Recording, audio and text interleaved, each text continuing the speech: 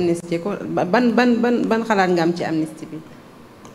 Il y a deux cas différents. Mon ba kaaw Khalifa. Khalifa Sall c'est un cas boo xam ne je n'y étais pas et cetera et je considère que ça a été réglé.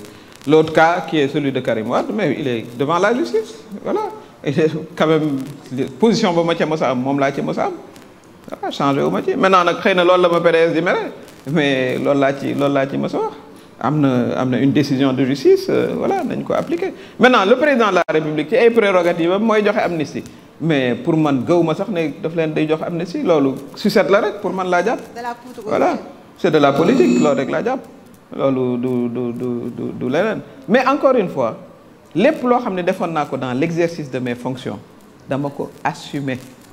Man damay kuy assumer su may acte du ma def ba noppi non non c'est-à-dire le contexte non dama ko assumer.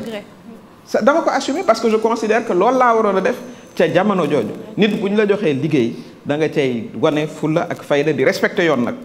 Ñoom def naa le procureur Alioune Ndao wax na ko publiquement c'est lui qui faisait le travail. Du ma ko jox instruction bu dëppoowul ak yoon. Du sama sama lien ak moom sax du jox ko instruction déedéet.